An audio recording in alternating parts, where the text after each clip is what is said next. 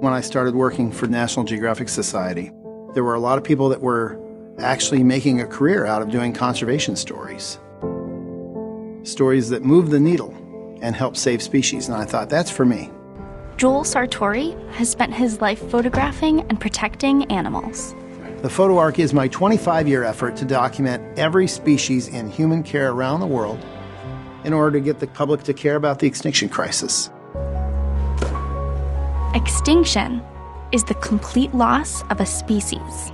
Extinction is accelerating on our planet thanks to people destroying the world's oceans, forests, prairies, marshes. We're on our way to 10 or 11 billion people. So as, as, as those people spread out, there's less room for other living things, and that's why we have extinction. Extinction's forever, and it's irreversible. We're on track now to lose half of all species by the turn of the next century. Might be worse than that. The photo ark, in a sense, is, is, a, is a big meet and greet. It's a place where people can literally see animals that they didn't know existed, hopefully fall in love. It's about eye contact and seeing these animals instantly without distraction. And it's a great equalizer.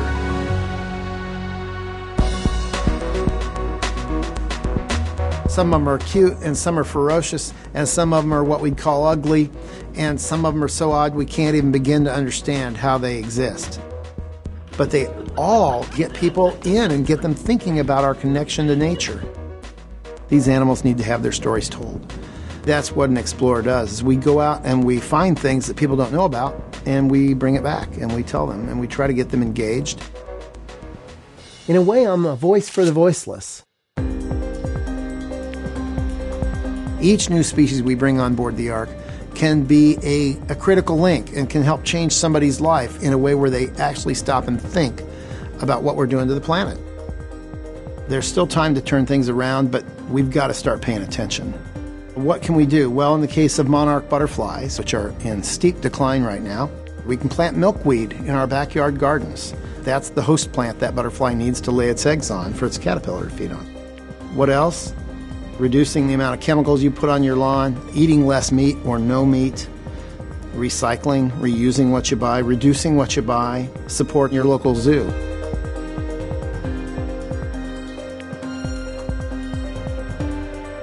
There's a million things people can do, and this is actually a great time to be in conservation.